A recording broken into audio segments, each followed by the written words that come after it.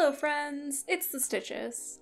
And my hair is different. I'm sure many of you have noticed that I've been having a lot of fun playing with some darker alternative outfits. I've been wearing primarily pastels and bright colors for a long while now, but a couple years ago I started to add the occasional black garment or darker color. Just sort of seeing if I had an actual interest in wearing all black and fishnet again, or if I was just reliving some inner 13 year old emo angst. And after a little bit of minor experimentation, I realized, oh shoot, I do want to break out my seven year old Spike collection again. So over the past year or so, I've been working on this video. No, really? It's been over a year. I guess that's why they call it slow fashion. I do want to stress though that I'm not getting rid of my pastel clothes and ditching my old style. This video is more about creating a wardrobe that I can wear in addition to my regular style. So let's talk about the process of building a new wardrobe. I've made a few videos about building wardrobes in the past, so I'm not going to get too nitty gritty, but my method can basically be summed up in three steps. Step one, get inspiration and figure out what you enjoy wearing. Step two, determine the essential basics and design elements that make up your style. And step three, slowly acquire what you need. So let's just begin with step one. Before we even begin to think about buying things, we need to know what to buy, because I actually do want to approach this with something resembling a strategy. In order to know what to buy though, we first have to actually define the style I'm going for. I've purposefully avoided calling it anything specific because like, it's not really goth, but it's also not really intended to be punk. It's also kind of emo, but only a little, not really. There are certainly visual kei influences, but I wouldn't put it in the visual kei tag. It's also very preppy, and there are a lot of menswear elements, a lot of sweaters. Since my style doesn't fit into any one single category, I can't exactly just pull up a how to dress goth tutorial, because what they tell me to buy isn't necessarily going to be what I want to wear. That means I'm going going to have to figure out my own basics, which means I'm going to have to do some research because I really needed another excuse to waste hours on Pinterest. I ended up saving over 300 photos of outfits I liked. Some of them were street snaps, some of them were runway looks, some of them were editorial spreads, some of them were blogger selfies. I just wanted to find a good variety of looks that encapsulated the general aesthetic I was going for. From that pool of images, I narrowed it down to my top top 30 or so. So what was left were only the outfits that I really liked and felt really inspired by. From here, I was able to more clearly find a style that, while it doesn't fit into any one specific box, it feels more genuine to me and feels like something I would actually enjoy wearing comfortably. I don't want to solely rely on Pinterest though. Seeing an outfit on someone else is not the same as wearing it yourself. While finding inspirational looks from outside sources, I also noted what I already have and what I already wear. Whenever I wind up really liking an outfit, I take a photo of it. I don't always post every outfit I take a photo of, but keeping track of what I actually like to wear will help me figure out what I naturally gravitate towards. So after I've recorded all of these outfits and analyzed them, now that I have a strong sense of what my style even is, we can move on to step two. After defining my overall style, it's easier to pick up on those individual details that really define outfits that I like. For instance, how garments are layered or how outfits are accessorized. From here, I was able to generate a list of basics that I'll need as well as statement pieces that can really elevate my looks. So I literally took a pen and some paper and wrote out what types of tops I need, what types of layering pieces, what types of bottoms, accessories, all of that. Everything a wardrobe in this style would require require. So if I were to own, say, a week or two worth of outfits, what items would I need to make those outfits? Because I'm extra and YouTube is a visual medium, I like to take this a step further and take that list and organize it into a table, where the columns are different types of garments and the rows are the different colors that I need those garments in. This creates a table where each square represents a garment that I need to fulfill a specific role in my wardrobe. Obviously, I don't need every basic in every color, so if I don't intend on buying it, I'll just scribble it out. The table I'm showing you is actually finished and represents everything I have at the end of this video, but you get the general idea, and if you don't, I've made a whole video explaining this concept in the past. Now that I have my basics list, I can go through my wardrobe and write down anything that fills a square on that table. Normally this would also be a good time to pull out clothes that no longer fit, or pull out clothes that you just don't see yourself wearing in the future, and finding a new home for those items. But I literally just made a video doing that, so we're gonna kind of gloss over that step. So now we have finally made it to step three, the actually fun step. I'm first going to show you the items that I already had because the most sustainable garment is one that's already in your wardrobe, or however the saying goes. So, starting off, I've had this chiffon skirt for a number of years. You've probably already seen it. This stretchy lingerie top I've also had a couple years. I stole this Bauhaus t shirt from my husband, but it's okay because I introduced him to Bauhaus. This shirt was gifted from Puvathel, a basic black thrifted sweater. Another solid black sweater, but slightly baggier. This solid black sweater is actually a dress. We're kind of reaching with this one, but I found these two pieces separately and they're both black and white houndstooth, so I like to pretend they're a set. My Dior blazer that I thrifted. I actually made a whole video about this Enchanted Scissors one piece. A vintage red velvet dress. And of course, I already have literal armloads of pastel basics that I've been collecting for several years and can use to mix and match. So to summarize, I have one skirt, no pants, three tops, one kind of fancy tank top and two graphic tees, three basic black sweaters, two blazers with bonus extra skirt, and two dresses. Now that we've established what I don't need to buy, we'll create a shopping list out of the remaining basics that I need. But I didn't want to just run to Depop and buy everything that I needed all at once. At this point, I was still in a moderately experimental place with this whole process, so I didn't want to waste a bunch of money on clothes I wound up not liking or that didn't fit or just didn't wind up working for some reason, and then I had to figure out what to do with them after. So instead, I added new pieces gradually, starting with one or two just essential items, and then after experimenting with them a bit and being sure that I was ready for new pieces, I would go back to my list and pick out a couple new items. So everything that I wound up buying either came from a physical thrift store locally or from Depop. I tried to find what I could locally first because frankly it's just more affordable to do it that way. But there were some items that I wound up really struggling to find locally, so I wound up purchasing those off of Depop. And of course, there were a couple really neat things that I found while browsing on Depop that I bought because I wanted them. So here's everything that I wound up purchasing. A cropped tee with lettuce hems, a strappy crop top for layering over stuff,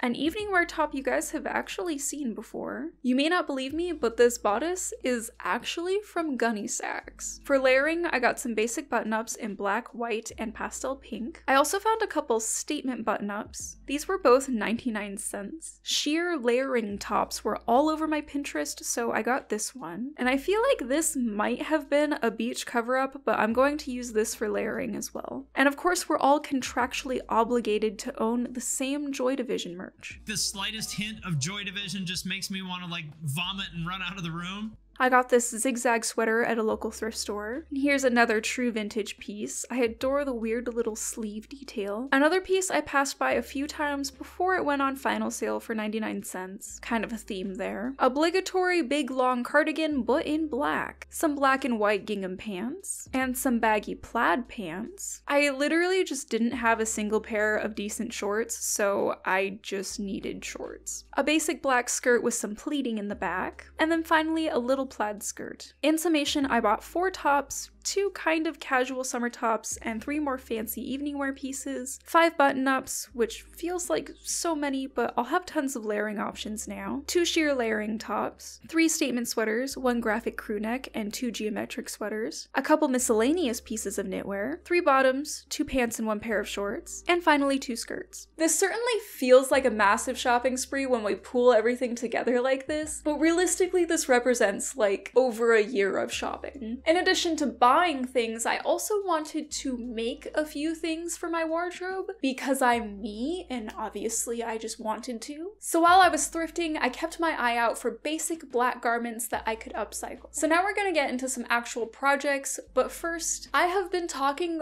forever now, so let's have a commercial break. All right, we are back.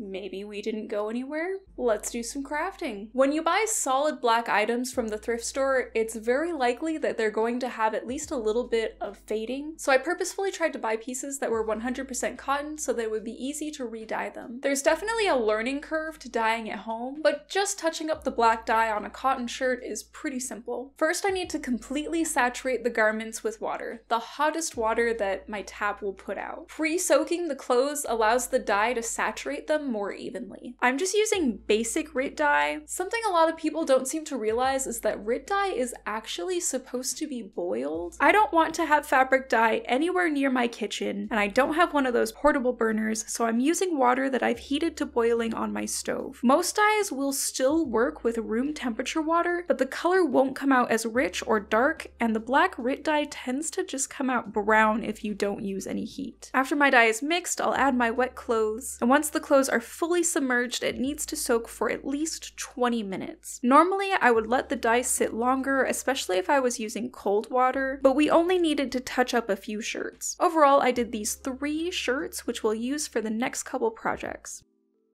I've been wanting to add some graphic tees to my wardrobe just in general, so when I found this old top from Eyeshadow that has a hood and a front pocket, I knew I had to do something with it. So I dipped into my embellishments box and found something that may be familiar to some of you. Back when I still bought fast fashion, I got an Esther Kim bunny graphic tee from WC, and I actually did a small haul of the items that I got on this channel. But the original shirt, being fast fashion, has since completely disintegrated. But the screen printing itself was in decent enough condition, so I just carefully trimmed the worn out fabric away from the graphic and just saved it so that I could patch it onto something else later. I pinned the patch onto the shirt roughly where I wanted it and then simply gave it a zigzag stitch around the edges to hold it in place. I would normally do more to finish it, but this is a knit that's coated in heavy screen printing ink, so I'm not really worried about fraying. We've started out with my least dramatic upcycle project, but this piece was honestly already so cool on its own that I didn't really want to change it up a ton.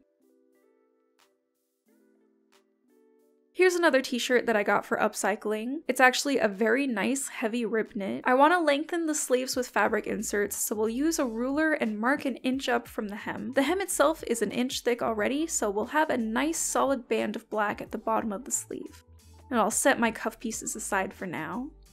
Now I need to figure out how long I want my inserts. I'm measuring from the bottom of the remaining sleeve to the tips of my fingers. I want to make the sleeve extra long so I can partake in this Slenderman but make it punk trend that's happening right now, because I've become obsessed and I genuinely like it when sleeves are a little bit too long, so this just takes it to the next level. I also need to measure how wide the sleeve inserts need to be to fit the original. I'm using some scrap fabric to build my inserts. The pink fabric is left over from the sports bear dress that I recently upcycled, and the purple has been in my stash for a few years now, so I'm not too sure what I originally had it for. I made my pieces the same width as the garment sleeve with a tiny bit of seam allowance for the serger, and to get my overall length, I divided the length of the arm by 5 since I wanted 5 insert panels, and then I rounded up to the nearest inch, adding a little smidge so my sleeves wind up extending well past my hands. The final rectangle you wind up with should be wider than it is long. I need 10 panels panels total, 5 for each sleeve in alternating colors. Each panel is folded in on itself, right sides together, and pinned in place along the short edge. Next I took all these little pieces over to the serger and stitched along the pinned edge. This creates the seam that runs down the length of the arm. Then I'm going to pin our now two pieces in alternating colors right sides together and stitch them in place. Remember that we need two sets of five stitched together. Then on the bottom of our finished sleeve inserts, we'll attach the hem from our original shirt. To finish the sleeves, our tubes are then set into the original sleeve on our garment.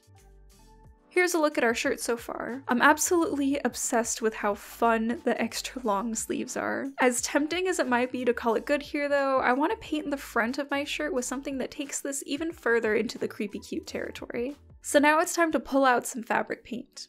Painting on black fabric can be kind of tricky, so it helps to put down a solid base of white first to act as a primer before adding any color. After I'm done painting, the shirt needs to rest for a couple days to finish drying before I can heat set the paint with an iron. So here's a quick reminder of what we started out with, just a simple tee made from really lovely material, and we turned it into this creepy cute, too long sleeved graphic tee.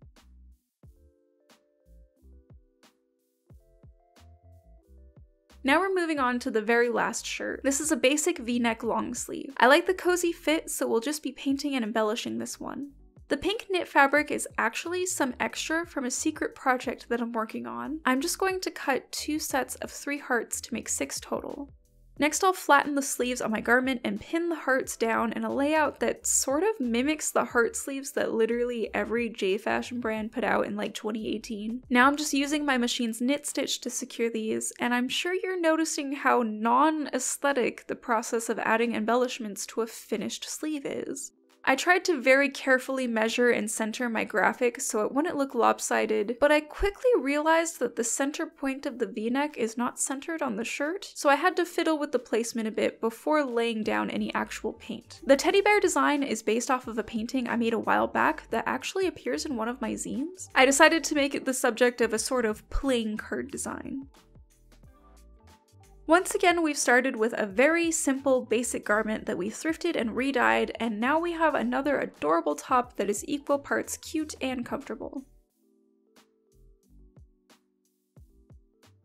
I've mentioned punk influences, and we all know that no punk wardrobe is complete without a patch encrusted jacket. Punk jackets tend to be made out of either leather or denim, but leather and denim jackets are such universal basics that when you do find them at the thrift store, they tend to either be higher priced or they're very worn out and not in very good condition. But you don't have to make a punk jacket out of denim or leather, you can use any kind of jacket. And as an example, I actually find blazers at thrift stores all the time. People buy them specifically for an event or an interview, and then in between events and interviews, their size changes. I try to avoid buying business wear that's too nice or too formal because I try to leave them for people that actually need work or interview clothes. But this particular one that I found at a thrift store isn't super nice or super fancy, so I don't really mind turning it into edgy clown clothes. Nothing says, hey, please don't touch me, quite like covering yourself in spikes. So I counted out the number of silver toned cone spikes that I had and marked out placements for them. These are the screwing kind, so I simply have to open up a hole using an awl, insert the screw through the bottom of the fabric, and twist on the spike. Now I can happily pretend to be a porcupine. I wanted to add a little chain detail to the lapel and fake pocket bit to play off the idea of a watch chain, but since I don't use an old school watch and the pocket isn't even real, we'll permanently install it using jewelry findings. I'll use a pair of jump rings to attach the chain. I'm using two just for the extra support. Now I want to attach the other end of this chain to an oversized safety pin. We'll use a pair of jump rings for that as well. The safety pin attaches to the lapel to create a draped effect with the chain. Now I'll turn my attention to these heinous buttons. I know a lot of people love the military look, but I don't, so I'm replacing the single front button with this vintage gumdrop looking one. The original button was actually only held on by one single thread, so it wasn't too difficult to remove. There were also three buttons on each sleeve, or there were supposed to be anyway, but I'll just remove those.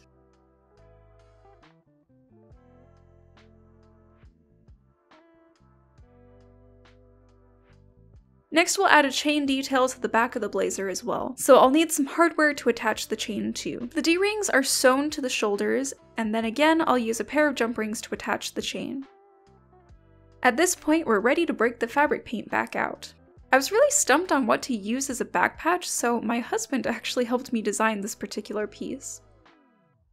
And here you can see the actual heat set process. I use a scrap of muslin for a press cloth, and I typically wait at least a day or two after the paint is dry to prevent sticking, although it usually does still stick a little bit.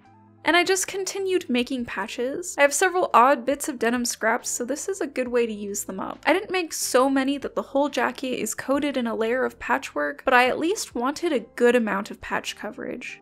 Of everything I did for this video, painting all of these little patches was the most tedious and time consuming, so don't expect this to be an overnight process. Once my patches were finished and heat set, I arranged them on my jacket with pins before stitching them down. I also added multiple enamel pins and pinback buttons. Once I felt happy with the jacket, I was ready to sew. I'm using just basic solid black thread for all the patches on this jacket. You can also use a contrast color to add a cool detail or even embroidery floss. I'm using a basic whip stitch. You could just use a sewing machine, but this jacket has a lining, and when you put a lining in a blazer, you usually make the lining just a little bit bigger so it has wiggle room, and that kind of makes it easier to move around in, so I don't want to ruin that effect. So I'm carefully stitching the patches on without catching the lining fabric. To remind you of how this looked before, here is the jacket without any of my embellishments, and here it is now. I just really like having a big jacket that goes with everything.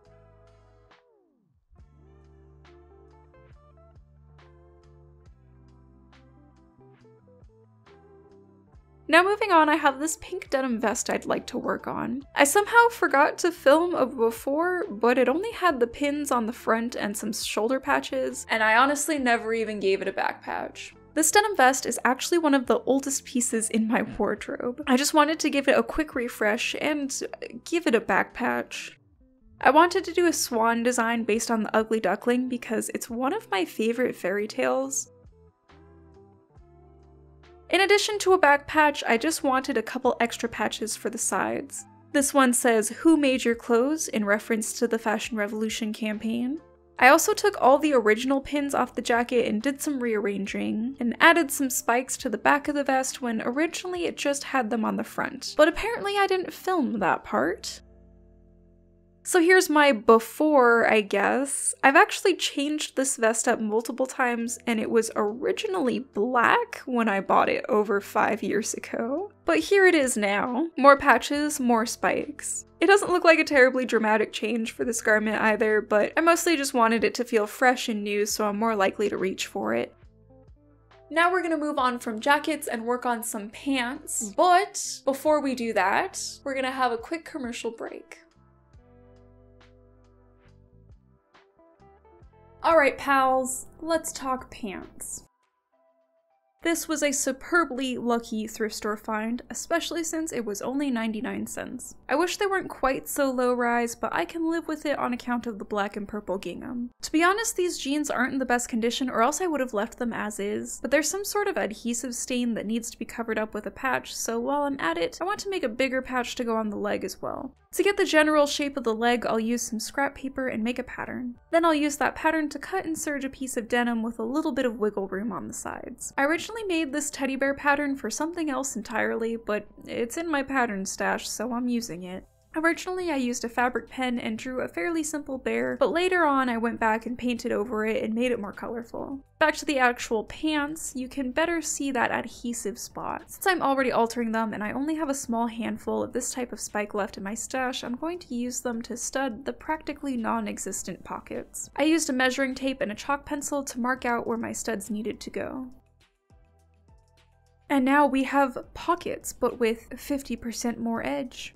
Now for that glue spot. I know you guys were very upset with me for removing the bunnies on that one cardigan, so here's a bunny going on some pants instead. As for the teddy bear, I actually want to try the pants on to figure out where to put it. I just used black embroidery floss to stitch the patches to the pants, mostly while watching YouTube. As usual, we have the pants before and the pants after. Again, not a crazy dramatic transformation, but I mostly just wanted to cover up that glue stain and not have one singular patch on the hip just looking all weird by itself.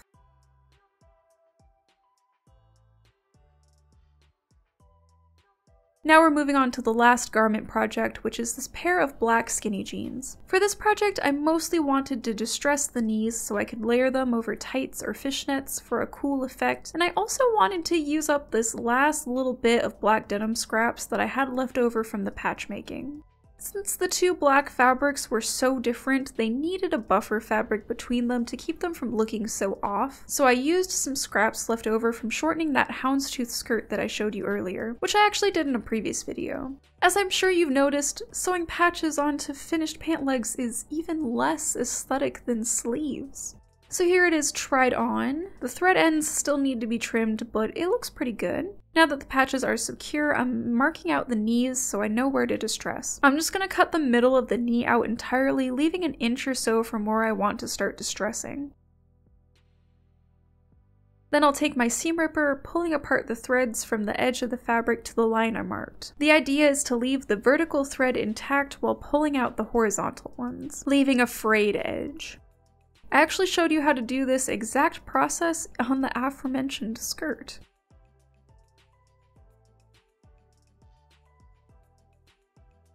To keep the pants from fraying further in the wash, I'll set my machine to a very narrow straight stitch and create a row of stitching along the edge of the knee holes I've created. We started out with a basic pair of thrift store jeans, and now we have moderately cooler thrift store jeans.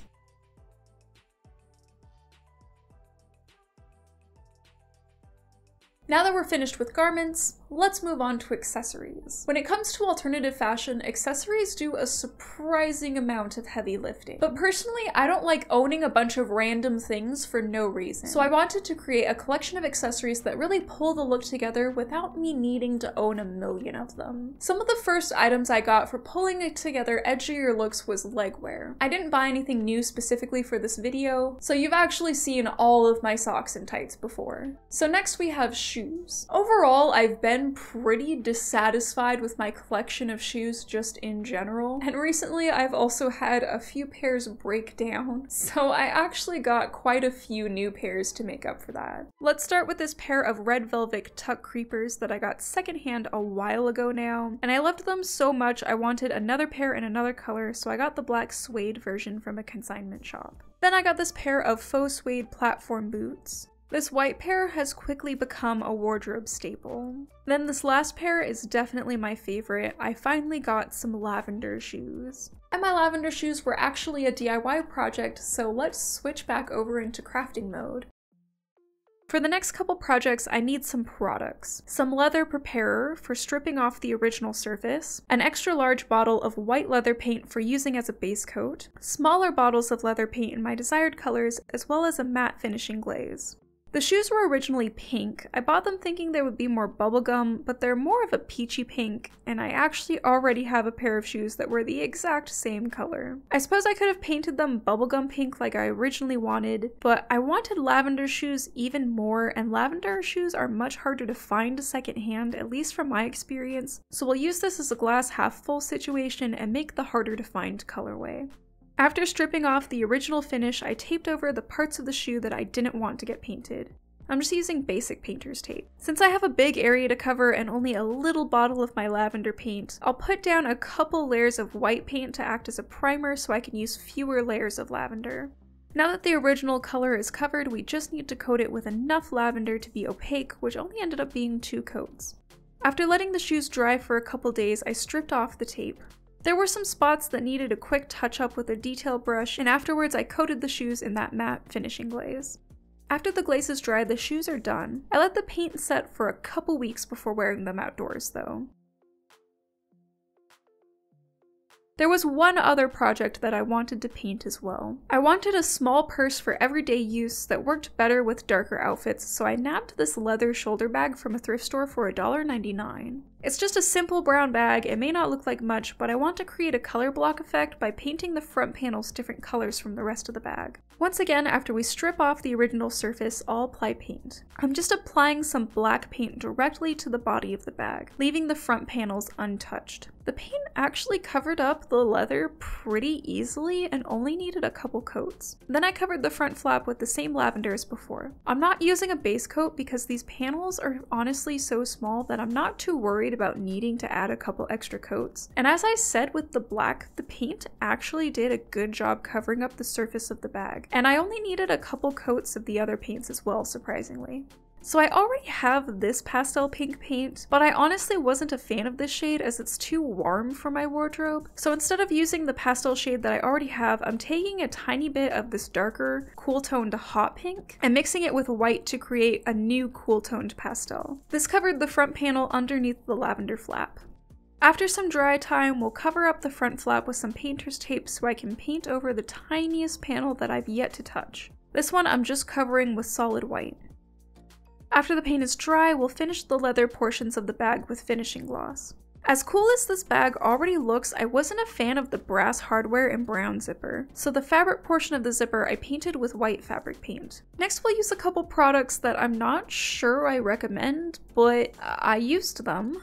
All I could find locally for a hard surface paint was glass paint, and I think next time I would actually bother to do some searching on the internet to find something specifically for painting on metal. The button snap on the front of the bag held up fine, but the zipper pull definitely needed touch-ups after a couple uses. I didn't originally use the triple thick since it's not exactly my favorite hard gloss in the world, but the zipper especially needed it. I painted the zipper teeth very sparsely with the glass paint, and I didn't paint in between the teeth really at all because I didn't want to mess with the zipper, but it worked fairly well, and if I need to touch it up now and again, I'm not too mad about that as long as the zippers is still functional. My little color block purse isn't exactly perfect, but I absolutely love it and it works for what I wanted it for. Now the only accessories we have left to discuss are jewelry. Jewelry can be super easy to make, especially the kinds of items that I want. I made all but a couple of these pieces myself, but I don't exactly consider myself to be a jewelry making expert, so I didn't film the process and I'm just going to give you sort of a rough explanation of how I put everything together. One item that was all over my Pinterest were these chunky O-ring necklaces, so I had to have one. This is actually a welding ring that you can get from the hardware store for like a dollar. They're kept in the same places as like the screws and nuts and bolts. It's just attached with jump rings to this extra chunky chain that I got from a standard crafting store. And then I just have this big clasp in the back. I also really like locks, this heart one I actually got from Depop. I got one that I was sure was secondhand though because there are a lot of people dropshipping locks that look just like this one. This other lock necklace I made with a hardware store lock, just a tiny little brass one that I found. I just put a basic closure on some chain and then threaded it through the lock when it was open. This next piece I made by just using jump rings to connect some safety pins. If you're afraid of the pins popping open, you could just take your pliers and pinch the opening together so that the pin is permanently shut. For this last little choker, I took the rest of those heart connectors that I used in the stuffed animal bag video and some jump rings and just some little scrap of chain and made a new chain altogether using all those little pieces. Then it closes with this heart clasp. I also saw many variations of pocket chains in my Pinterest album, so I made one using this super chunky chain again, and a couple more of these welding rings. I also made this faux pearl pocket chain for my more pastel wardrobe, using a vintage necklace that I thrifted for like a dollar a couple years ago now I think, but it was aging really badly so I took it apart and used the beads to make a couple things. Then I used this case to store a few other little bits and bobs, but I really wanted to downsize my accessories since I don't really wear that much jewelry normally, and I like to be able to fit all of my jewelry, even the big oversized stuff, in this one little tackle box-esque divider. It's actually made for jewelry specifically to be tarnish proof, but I don't know if I actually really believe that's true, I just appreciated that I was able to find it locally for less than $10. At this point, I think it's safe to say that I'm done acquiring things for a good long while. This feels like more than enough to me now, and I'm really excited to show you some outfits that I can put together with all of these things that I just showed you.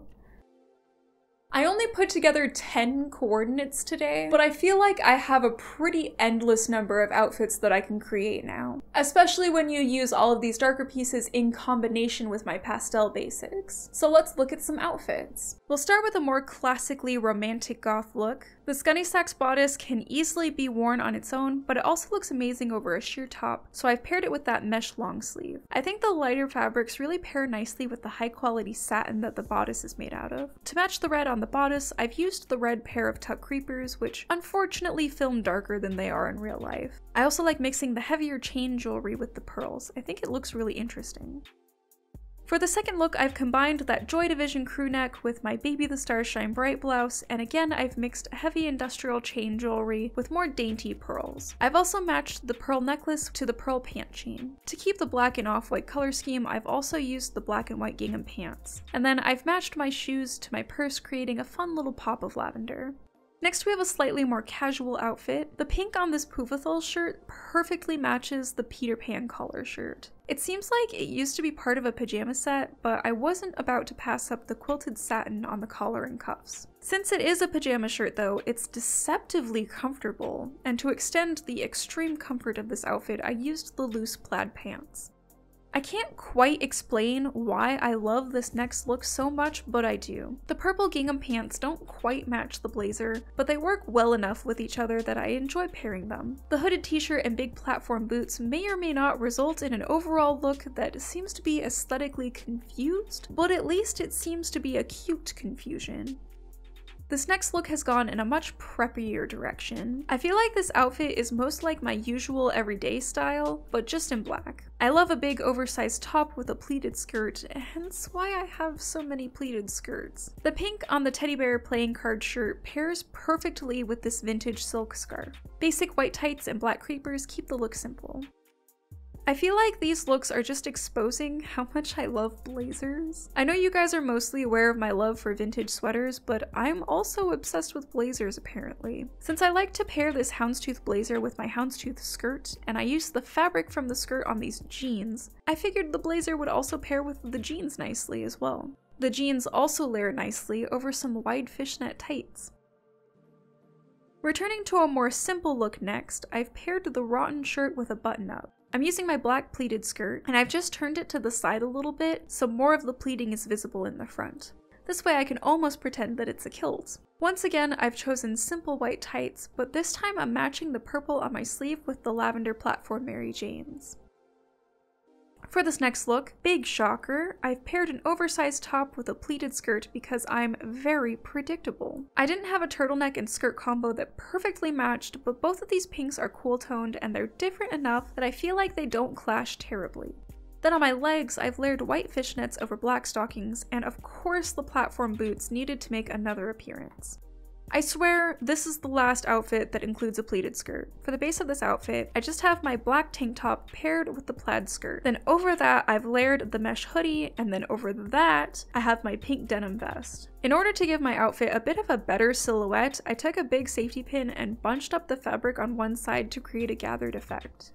For my final look, I've decided to go a bit more over the top and broke out a few more statement pieces. You've probably seen my thrift flip video in which I made this dress, and you guys seem to be just as confused by the embroidery as I was. But let's face it, the less a garment makes sense, the more I love it. I couldn't resist pairing the red teddy bear bag with the sports bear dress, even if the reds clash. You probably also recognize the bag.